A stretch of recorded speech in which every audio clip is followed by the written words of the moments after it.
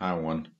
In a previous video, I showed you how I assembled most of the basic frame for my basement workbench that I built out of particle board.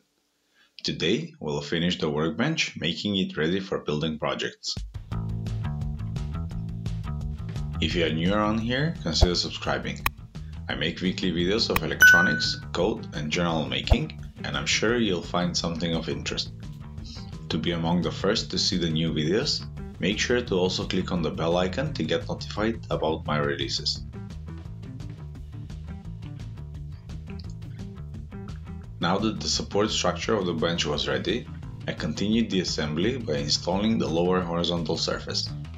This will serve as a shelf for some of my power tools and occasionally for temporary storing of project pieces while continue working on others on the top surface. As you can see, because of the size of the piece and the way the table is assembled, I needed to insert this piece before I added any of the top cross support pieces. I tried several ways of getting it in, but none of them worked and I decided to remove one of the leg pieces on the side.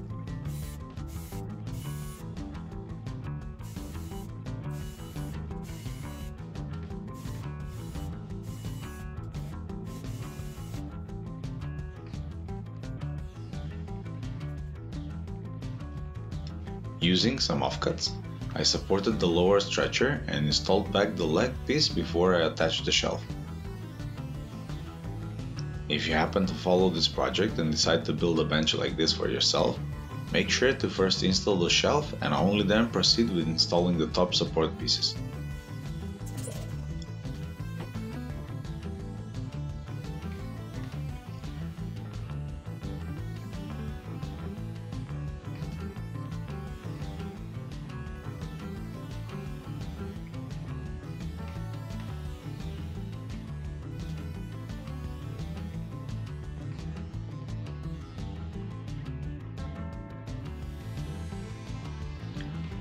Now that the board was in, I've marked some location at half of the board thickness along the edge of the shelf and I pre-drilled the holes for the screws. I used 50mm long screws here so there is plenty of support to keep the shelf flat. Next, I used my speed square to transfer the height of the shelf on the sides, marking some locations for support screws and I used the drill to make some holes. With the same 50mm screws, I joined the shelf with the side as well, so it adds rigidity to the entire workbench.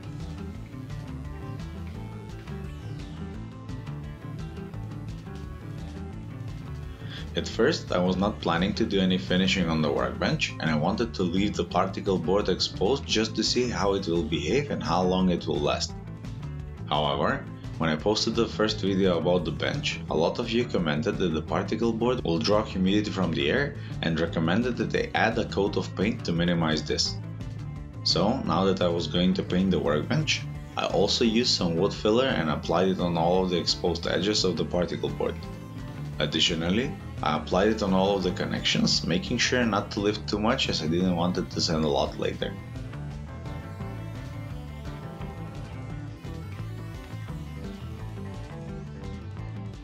It is crucial to mention that I did not bother to hide any of the screws I've used to assemble the workbench.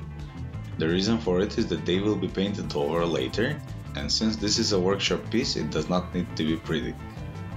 Additionally, I have some plans to upgrade it in the future with some extra features, so I might need to drill or cut somewhere and I wanted to be able to remove any screws that is in the way.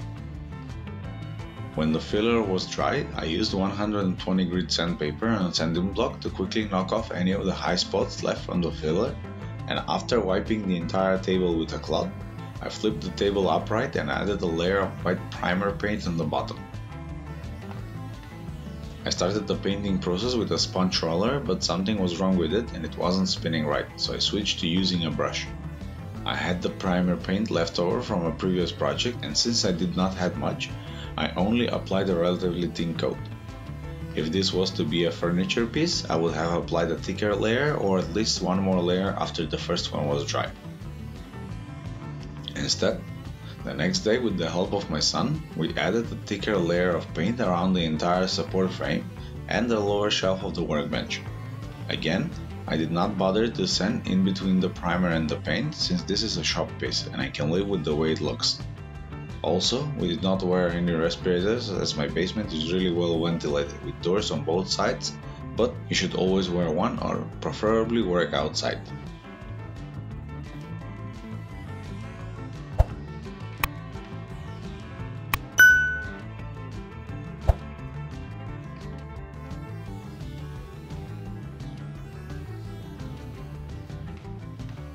With the workbench painted, I place the work surface piece on top, align it with the front of the table and use the measure to center it from the sides.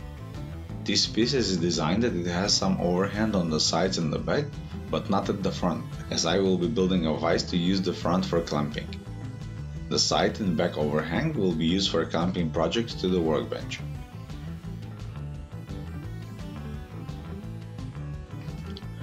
With the top, I decided not to do any finishing, as I'm expecting to get beat up quite fast and it will probably be the first thing that fails on the workbench. If that happens, I can quickly remove it and replace it either with another piece of particle board or with something stronger if the frame is still holding up after a while. Again, to fasten it to the frame, I added screws from the top on all of the sides and support pieces in the middle, not bothering to hide any of them. I did have plans to add some leveling feet to the workbench, as my basement floor is not that straight, but I checked the top and it was perfectly level where I placed it. As I don't plan to move the bench anywhere else, I've decided not to add them for now. At first, I was not sure if the particle board will be strong enough for a workbench, but now that the table is assembled, I'm confident that it will hold for at least several years. This is perfect for me as I'm not a woodworker and I won't be handling heavy project on it, but instead, I plan on doing smaller projects and it should be perfect for this. As I said earlier, I do have some plans for adding extra feature to the workbench like storage and a vise, so be sure to subscribe in order to see that. If you want to build a similar bench for yourself, there is a link in the video description to the SketchUp model that I made for mine. Let me know what you think down in the comments, and until the next one, thanks for watching.